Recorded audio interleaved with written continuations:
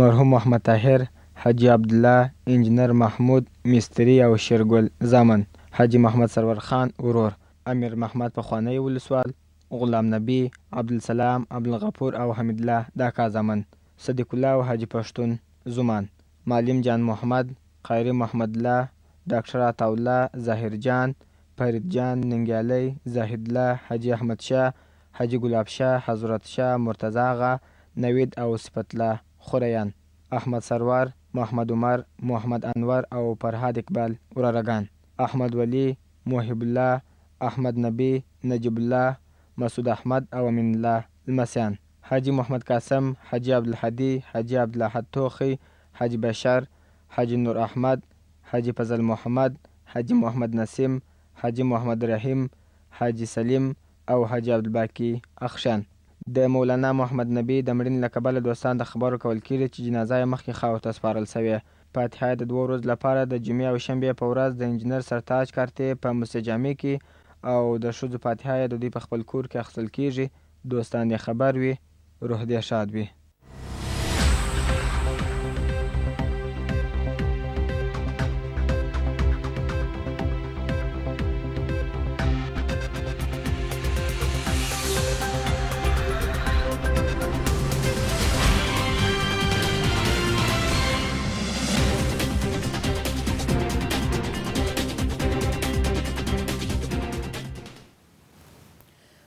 د کندهار ملي راډیو تلویزیون ډېرو درنو او قدرمنو لیدونکو السلام علیکم ورحمت الله وبرکاته نن پنجشنبه د یو زرو درې سوه پنځه نوي لمریز کال د جدې مرغومي د میاشتې دویمه او د روان دوه زره شپاړس میلادي کال د ډسمبر د میاشتې دوه ویشتمه نېټه ده. اوس هم ستاسو پام راګرځوو د دې مهال خبرونو ته خو په پیل کې د څو مهمو خبرونو سر ټکي.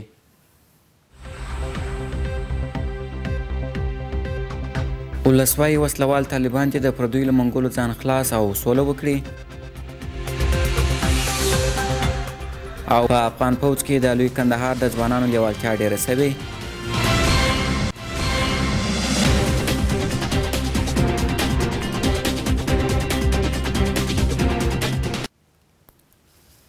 اوس هم بشپړ خبرونه ويا نورعلي صديقي بسم الله الرحمن الرحيم ولسي مشران وايي وسله وال طالبان دې د پردیو له منګولو ځان خلاص او سولې ته دې لبیک ووايي د پنجشنبې په ورځ په پنجوايي ولسوالۍ کې د ژړۍ او میوند ولسوالیو په سلګونو کسان راټول شوي وه او د پراخې غونډې پر مهال یې له وسله والو طالبانو د تاوتریخوالي د پای ته رسېدو او د سولې پروسې سره د یوځای کېدو غوښتنه وکړه. بشپړ جزییات نثار احمد احمدي په چمتو شوي راپور کې. په کندهار کې د سولې د پروسې په تعقیب یوه بله لویه غونډه ترسره شوه او د ټول هېواد له خلکو وغوښتل شول چې د سولې په برخه کې له خپل ولسي اړخه هڅې پیل کړي. د کندهار د میوند، پنجوایي او ژړۍ ولسوالیو خلکو د یوې غونډې پر مهال د افغانستان له ټولو خلکو وغوښتل چې د سولې ارمان ته د رسېدو لپاره یو موټی شي او نور په دې هېواد کې د جګړو او بې ځایه وروروژنې مخه ونیسي. د پنجوايي ولسوالۍ په مرکز کې د سولې په دې پراخه غونډه کې د شاهي کورنۍ غړي سردار نادر نعیم، د سولې د پروسې فعال عطاالله صادقي او نورو له خلکو وغوښتل چې د سولې پروسې ته د رسېدو لپاره نور چوپ پاته نه شي. دری پروسه صلح مردمی دست با دست همدیگر بودیم. دست برادری دست صداقت دست وحدت و انشالله انشالله با رحمت خداوند متعال صلح و یک صلح پایدار و آبرومند در خود داخل افغانستان به دست باید سبقم کویسو چې دغه پروسه د صلح په ملت پیاوړی د افغانستان ولس د افغانستان ملت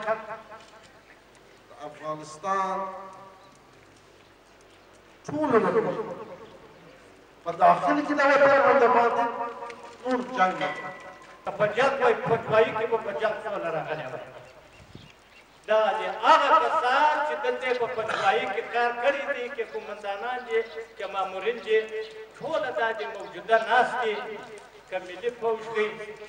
دې خلکو د ولسي خلکو څخه کار واخیستی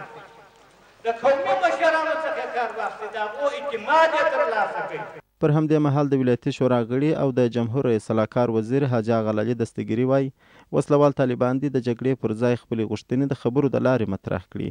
او نور دې د افغانانو له عامه وژنې لاس واخلي. هغه ویل چې په تېرو څو کلونو کې ډېری داسې پېښې ثبت شوي چې کورنۍ کورنۍ ملکي خلک د جګړې قرباني شوي خو د افغان ځواکونو څخه یې مننه وکړه چې په کندهار کې یې د امنیت په برخه کې هلې ځلې ډېرې کړې دي. دغه جنګ چې د څلور اتیا څخه را شروع شو بیا د نن تاریخ پورې موږ په دې جنګ کې ښکې یو که په افغانستان کې موږ داسې څو حادثې داسې ولم چې هغه د افغانستان په تاریخ کې درج شي ځکه کوم ځای به چې درس که درې حادثې هم دغسې هغه ټولو کسانو په ملي اردو کې وه، په ملي امنیت کې وه، که په پولیسو کې وه، که په نورو ارګانو کې وه، دلته یې قربانۍ ورکړې دي، دلته یې وینې توی کړې دي، دلته یې خپل ژوند له لاسه ورکړی دی. د یادولو ده چې په کندهار کې د تېرې یکشنبې په ورځ د سولې په اړه د یوولسو ولایتونو د مشرانو ترمنځ لویه غونډه وشوه او په دې غونډه کې له خلکو وغوښتل شوه چې نور پر دولت او نړیوالو تکیه ونه کړي، بلکې خپل منځي سولې ته لاره جوړه کړي. هغوی له وسله والو وغوښتل چې د بین الافغاني لارې دې سوله رامنځته کړي. د کندهاري ځوانانو لېوالتیا په افغان ملي پوځ کې زیاته شوې. په کندهار کې د دوه سوه پنځم اتل قول اردو چارواکي وايي، په دې وروستیو کې د لوی کندهار د ځوانانو لېوالتیا د ملي پوځ په لیکو کې د دندې ترسره کېدو په برخه کې زیاته شوې ده. د یاد قول اردو درستیزوال بریدجنرال احمدالله داور وايي، هره ورځ په لسګونه کسان ورته مراجعه کوي، تر څو د افغانستان په ملي پوځ کې د هېواد څخه د دفاع او د خلکو د مال او ناموس د ساتنې لپاره خدمت وکړي. د ادب خبره چې د زیاتو مراجعه کوونکو ځوانانو څخه یوازې هغه ځوانانو ته د شمولیت حق اولیت ورکوي چې د دوولسم ټولګۍ څخه فارغ وي. د ښاغلي داور په خبره چې د همدې چارواکو، چاري د پاره يې د کندهار، هلمند، زابل، روزګان او نيمروز ولايتونو له اته اتيا تنو ځوانانو څخه د افسرۍ کورس ته د شموليت په موخه ازموينه اخيستې ده. نوموړي وايي، تر ازموينې وروسته بريالي شوو ځوانانو ته د ځوانو افسرانو په توګه جلبوي او تر پوځي زده کړو تر لاسه کولو وروسته د دوهم بريدمن رتبه هم ورکول کيږي.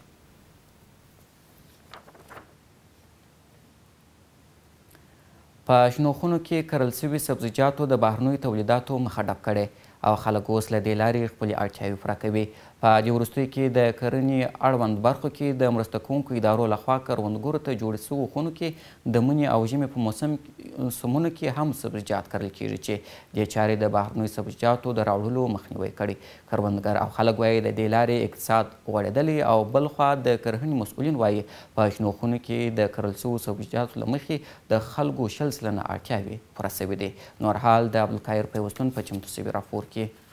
کندهار د افغانستان له لویو کرهڼیزو ولایتونو څخه دی چې اوسېدونکي یې تر ډېره حده خپلې اړتیاوې له همدې لارې پوره کوي.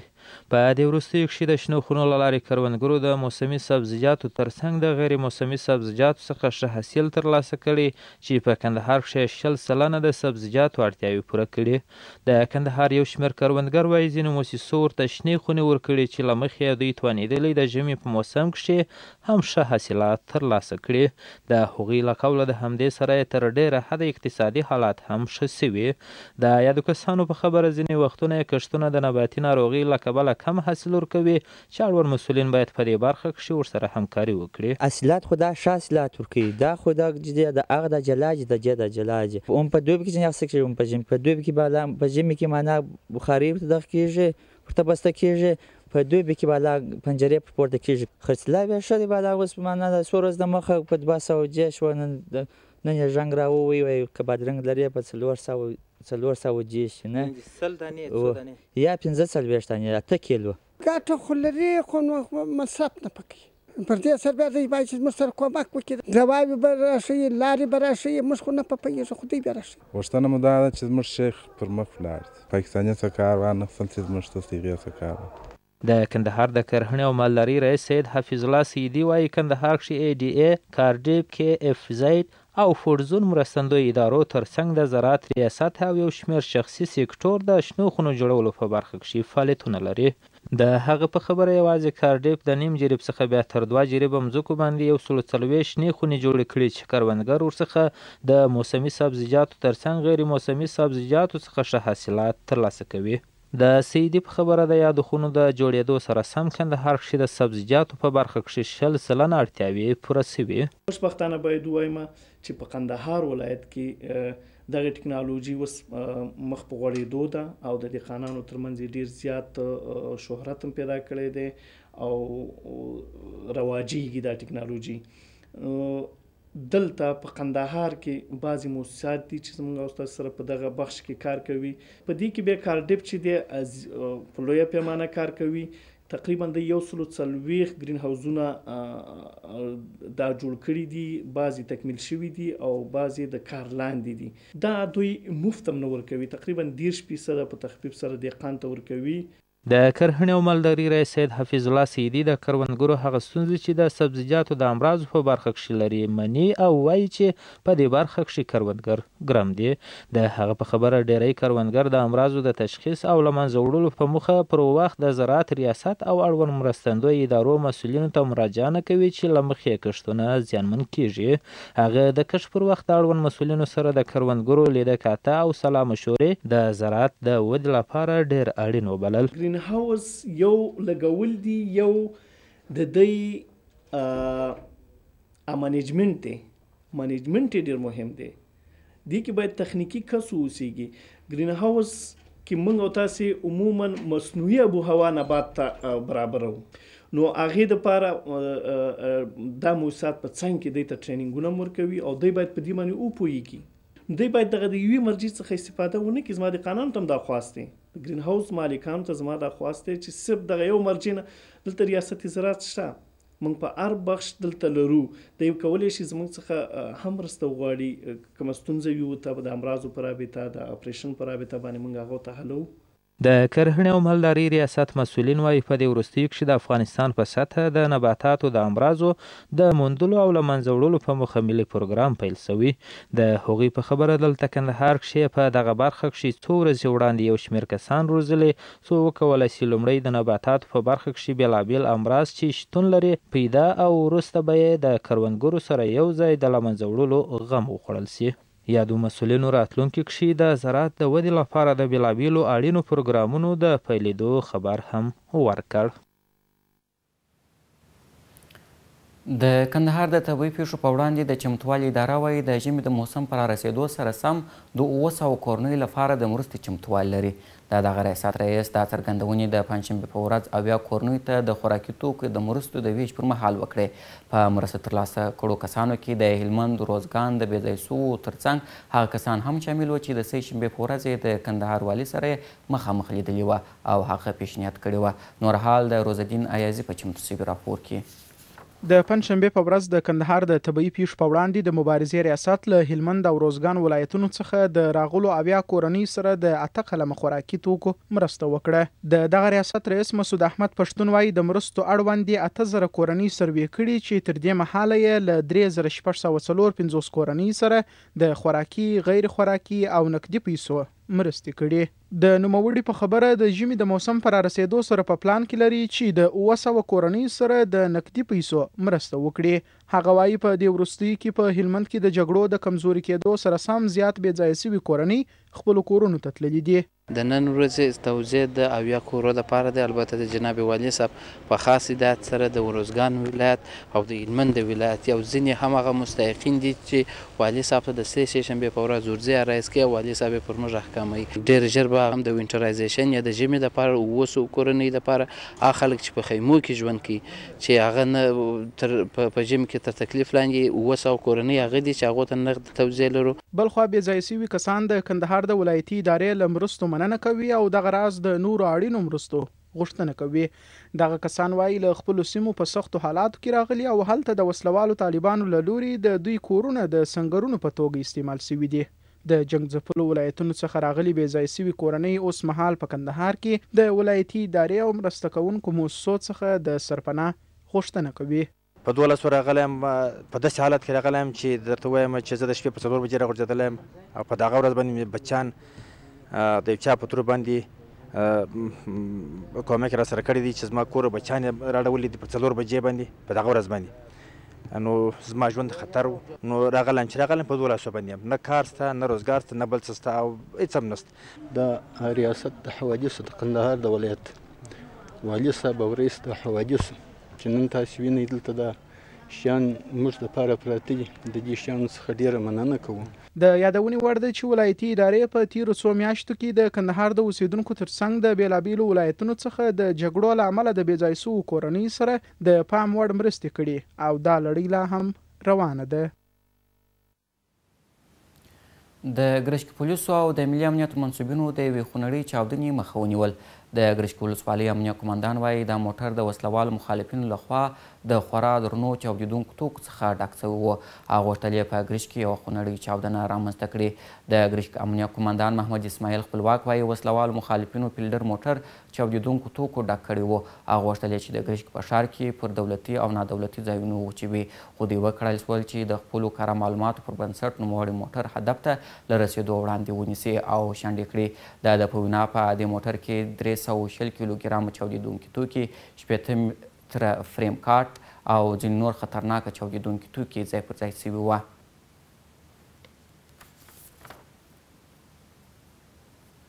د افغان ځواکونو له خوا د عملیاتو پر مهال څلوېښت وسله والو ترهګرو ته مرګ ژوبله اوښتې ده. د افغانستان ملي دفاع او امنیتي ځواکونو په ګډو تعرضي او تهاجمي عملیاتو کې چې د خلکو د ځان او مال ساتلو له فاره د ترهګرو د له منځه وړلو په موخه یې په تېرو څلور ویشت ساعتونو کې د هېواد په بېلابېلو سیمو کې ترسره شول لس تنه وسله وال ترهګر وژل شوي د شپږو تنو قومندانانو په ګډون دېرش تنه ټپیان او دوولس تنه شکمن کسان نیول شوي دي. د ملي دفاع وزارت څخه په خپره شوې خبرپاڼه کې راغلي چې دا عملیات یې د کندهار، هلمند، زابل، روزګان، ننګرهار، نورستان، غزني، فکتیکا، فراه، فاریاب او کندوز ولایتونو په بېلابېلو سیمو کې ترسره شوي دي. په خبرپاڼه کې راغلي چې ملي اردو د هېواد د دفاعي ځواک په توګه د ټول قوت سره حاضر دی چې د خلکو د امنیت او هوساینې لپاره هر ډول قرباني ورکړي.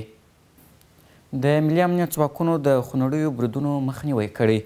د ملي امنیت ځواکونو په کابل ښار کې له یوه پټنځای د ځانمرګو واسکټونو او مهمات ترلاسه شوي دي. په هغه خبرپاڼه کې چې د ملي امنیت له عمومي ریاست څخه خپره شوې ویل شوي چې د چاودیدونکو توکو یو داسې ځای کشف کړی چې په کابل کې د چاودونو او ځانمرګو بریدونو د ترسره کولو لپاره پکښې مقناطیسي ماینونه او چاودېدونکي توکي ځای پر ځای شوي وه. په خپاره شوي بیان کې راغلي چې دغه ځای د کابل ښار اوومې ناحیې په ساحه کې د ملي امنیت موظفینو د ځانګړو عملیاتو په ترڅ کې موندل شوی. په خبرپاڼه کې راغلي چې په دې پټنځای کې د ځانمرګو بریدونو درې واسکټونه چې برید ته چمتو شوي وه د ملي امنیت ریاست د تخنیکي ډلې له لوري شنډ شوي دي. په اعلامیه کې همدارنګه راغلي چې په یوه لاسي بکس کې تیار شوي شپږ چسپکي ماینونه، پنځلس بستې چاودېدونکي توکي، دوه ریموټ کنټرول او اته تختې،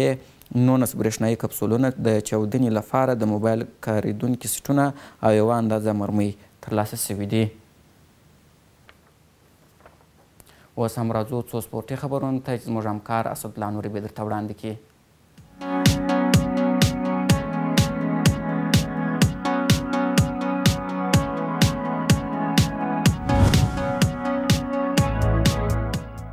سلامونه نیکی هیله پیرزینی میومنی په دې هیله چې جوړو خوښه خوشاله بیاس اسد الله نورې مرسی خبرونه تر راغلاست درته وایم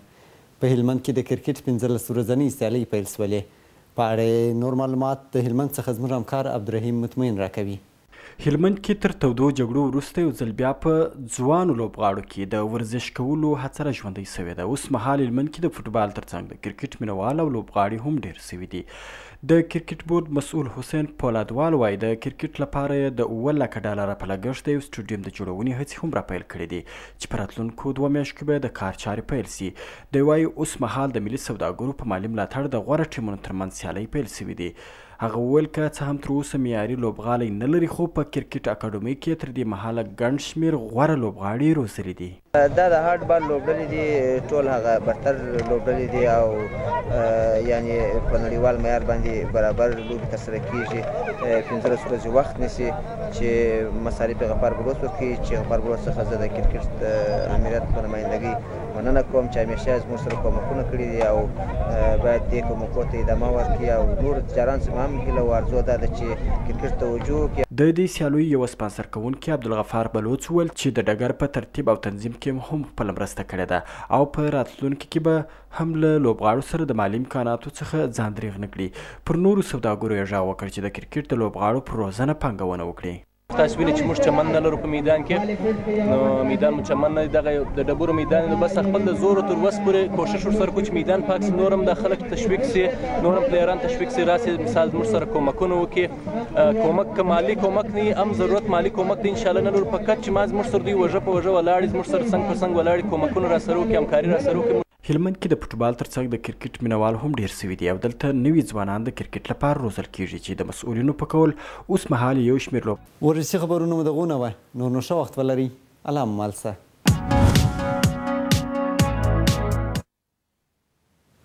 بیا هم پخیر راسئ. د سپورټ او بدني روزنې د امریت خبرتیا. د کندهار ټولو ورزشکارانو ته خبر ورکول کېږي چې د کندهار د سپورټ او بدني روزنې امريت سره ثبت شوي ټول ورزشي فدراسيونونو انتخابات ترسره کېږي. هغه ورزشکاران چې د دولسم ټولګۍ څخه فارغ وي او پر شرايطو برابر وي کولای شي د امريت څخه د کانديتاتورۍ فارمې ترلاسه کړي او ځان کانديد کړي. مينوال کولای شي د نوم ثبتولو لپاره د روانې مياشتې تر لسمې نېټې پورې مراجعه وکړي.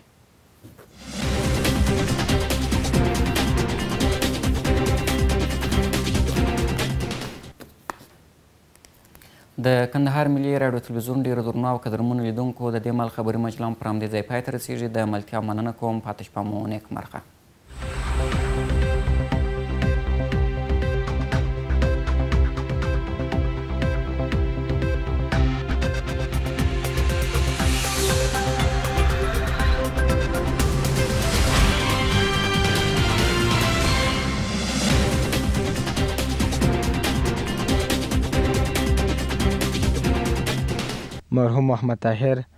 حاجي عبدالله، انجنیر محمود، مستري او شېرګل زامن، حاجي محمد سرور خان، ورور، امیر محمد پخوانی ولسوال، غلام نبي، عبدالسلام، عبدالغفور او حمیدالله د اکا زامن، صدیق الله او حاجي پښتون زومان، معلم جان محمد، قاري محمدالله، ډاکټر عطاالله، ظاهر جان، فرید جان، ننګیالی، زاهدالله، حاجي احمد شاه، حاجي ګلاب شاه، حضرت شاه، مرتضی اغا، نوید او صفت الله خوریان. احمد سروار، محمد عمر، محمد انور او فرهاد اقبال وراره ګان، احمد ولي، محب الله، احمد نبي، نجیب الله، مسعود احمد او امین الله لمسیان، حاجي محمد قاسم، حاجي عبدالهادي، حاجي عبدالاحد توخی، حاجي بشر، حاجي نور احمد، حاجي فضل محمد، حاجي محمد نسیم، حاجي محمد رحیم، حاجي سلیم، او حاجي عبدالباقي اخشن د مولانا محمد نبي د مړینې له کبله دوستان د خبرو کول کېږي چې جنازه یې مخکې خاورو ته سپارل شوې. فاتحه د دوو ورځو لپاره د جمعې او شنبې په ورځ د انجنیر سرتاج کارتې په مسجد جامع کې او د ښځو فاتحه یې د دوی په خپل کور کې اخیستل کېږي، دوستان دې خبر وي، روح دې ښاد وي.